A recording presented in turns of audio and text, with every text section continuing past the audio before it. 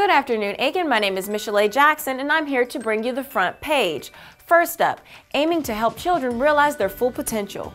Rural Health Services, which is headquartered in Aiken, has received $100,000 in grant funding from the U.S. Department of Health and Human Services.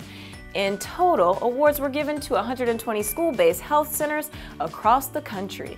Taking legal action the Department of Justice announced that the United States has filed suit against MOX Services. We will keep you updated as the story unfolds. Shelter in the event of a disaster. North Augusta City Council will meet today to discuss a partnership with the American Red Cross to designate Riverview Park Activity Center as a Red Cross emergency shelter. Bookworms. Storytime in the Gardens is coming back in March. The program promotes literacy in the community's youth. It is free and will be held at Hopeland Gardens. To read more about these stories, visit aikenstandard.com. My name is Michelle A. Jackson, and thank you for tuning in to the front page. We'll see you tomorrow.